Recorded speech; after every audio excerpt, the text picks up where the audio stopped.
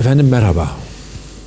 Geçen yüzyıl bizim de hayatın ortasında olduğumuz sıradan bir gün yaşadığımızı sandığımız bir gün 1995 yılının Ekim ayının 17'sinde olağanüstü bir şeyler olmuş.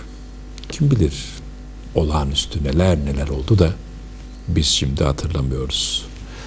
Anlatıldığına göre ne kadar doğru bilemiyoruz ama olayın kendisi değil, olayın özü bize lazım. Heidi ve Paul Jackson çiftinin işte o gün Bril ve Kire adını verdikleri ikiz bebekleri doğmuş. İkiz bebek anne babası olmuşlar. Ben de hekimim ve standart hastane kurallarını biliyorum. İkizler çoğunlukta prematür doğar ve prematür doğsa da doğmasa da bir süre küvezde kalırlar.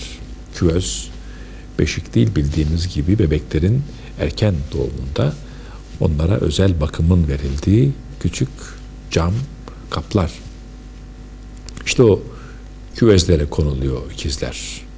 Jackson'ın ikizlerine de o gün doğan tekrar o, o gün doğan ikizlere de bu sistem uygulanmış. Ayrı ayrı küvezlere konulmuşlar. Bir kilo ağırlığındaki Kiri ikizinden daha büyük ve hızlı bir şekilde kilo alarak günlerini sakince geçiriyormuş.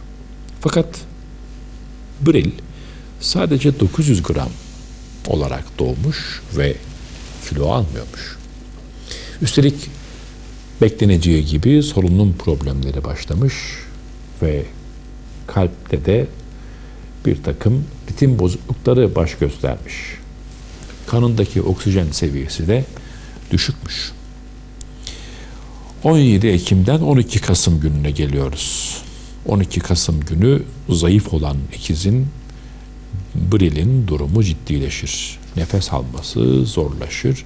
Yüzünde, kollarında morluklar ortaya çıkar. Bebeğin kalp atışları yüksek ve vücudun stres altında olduğunu gösteren hıçkırıkları vardı. Ailesi ve hekimleri bebeği kaybetme endişesi yaşıyorlardı. Hemşire Gayle Bril için her şeyi denedi.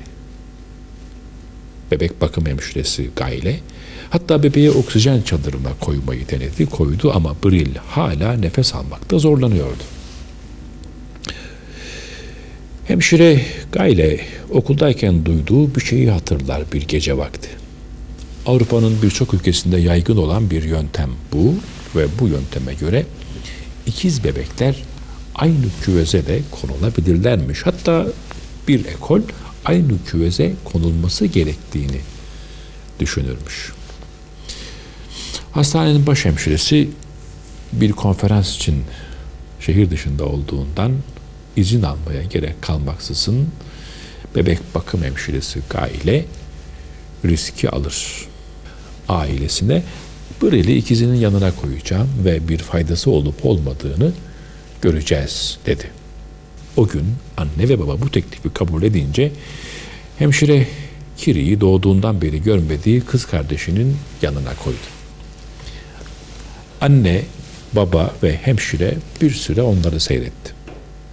Küözün kapısı kapatıldıktan bir süre sonra Bril Kire'ye sokuldu ve sakinleşti. Birkaç dakika içinde Bril'in kan ve oksijen seviyesi doğduğundan beri en iyi seviyeye ulaştı.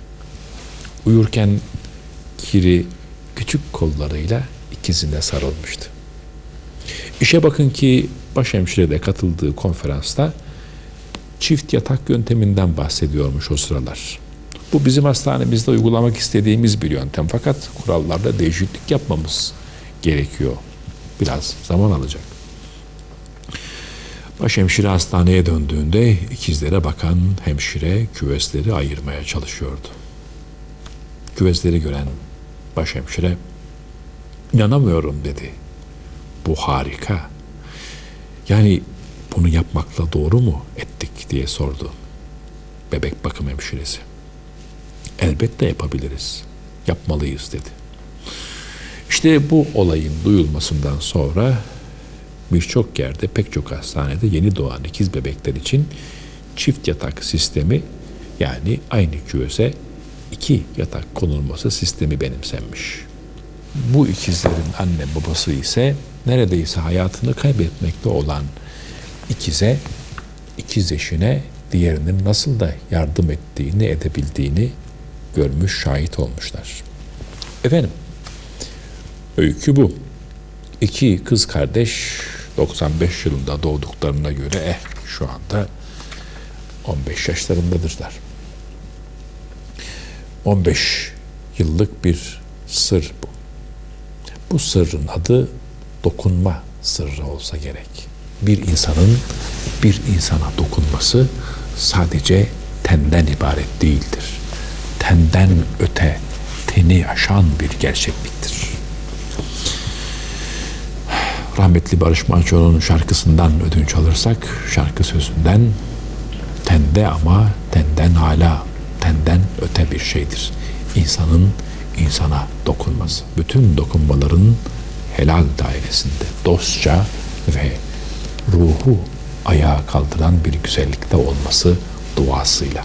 Efendim muhabbetle kalınız.